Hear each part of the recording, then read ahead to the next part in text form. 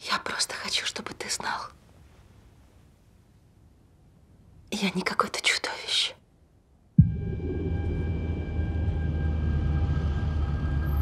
Можешь повторить, что ты им рассказала? Как можно точнее. Да, конечно.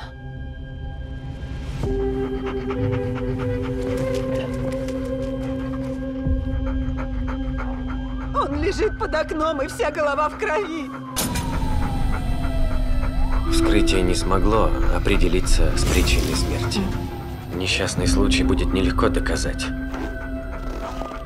Поэтому следствие называет его смерть подозрительной.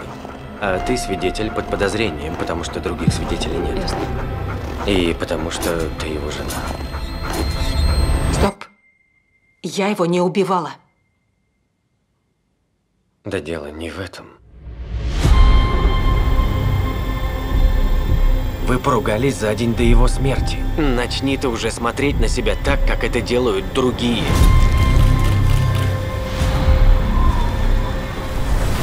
Могло ли что-нибудь подтолкнуть его к самоубийству? Рассказывай все только так, как ты это запомнил. Эту несчастную жизнь ты выбрал сам. Нет, ты не жертва. Ни на йоту. Я не жертва! Я мужчина, которому изменили! Не могу больше! Ты бешеная! Да, я бешеная!